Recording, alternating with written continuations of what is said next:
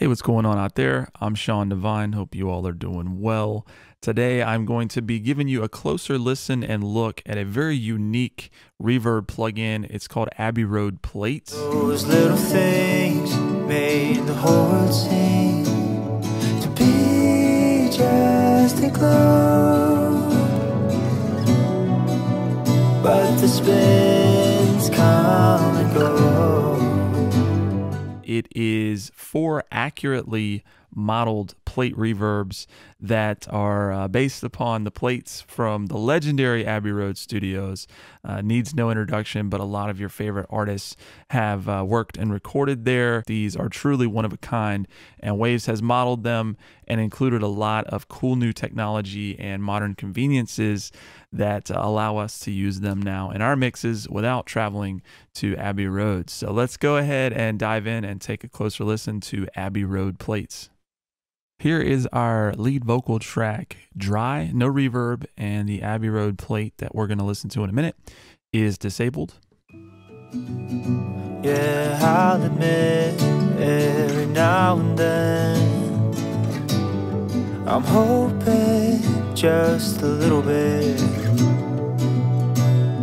See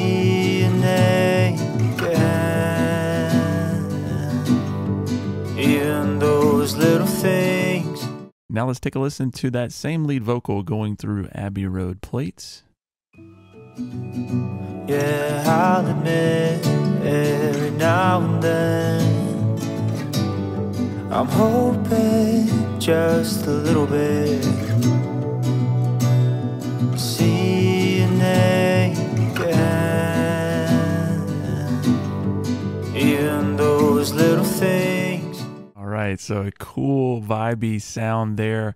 And uh, let's talk about a couple of the controls here that I have dialed in on this preset. First, most importantly, the plate selector. So this just allows you to go through all of these different plates, the physical plates that they had at Abbey Road, and we're going through these models. And so I had it on uh, plate C. Each of these is going to give you a, uh, a different feel, different kind of tone. No plate sounds quite the same. Uh, so then going over to our damper control, let me just play this back again and I'm going to adjust the damper so that you can hear what this does. Yeah, I'll admit every now and then I'm hoping just a little bit.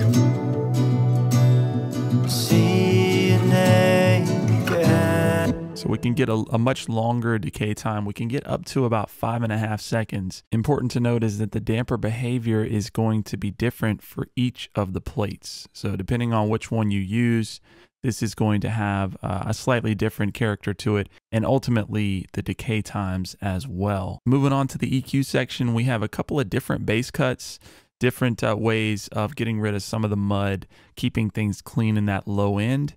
And then also we have a treble control. This is not just uh, basic treble. This is actually modeled on uh, the Abbey Road mixing desk, which I believe is an EMI. And this is going to give you a, a unique way of boosting the high end.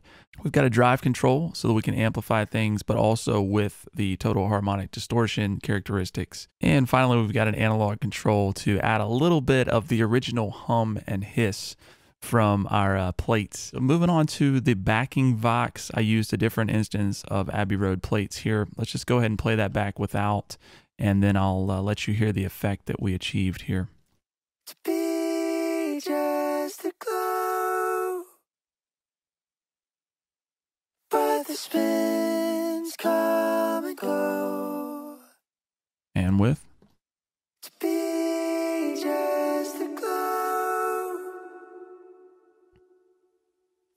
Spins come and go.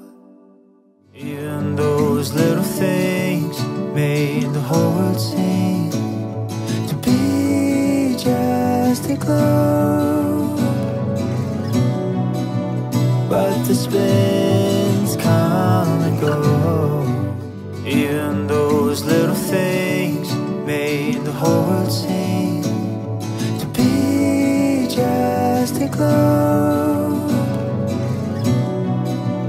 but the spins come and go.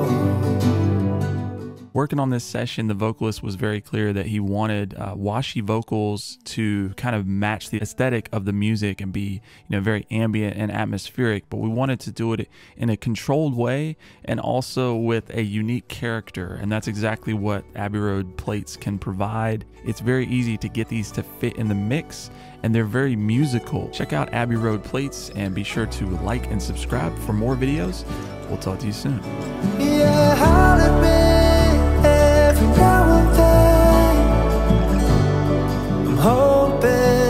just a little bit.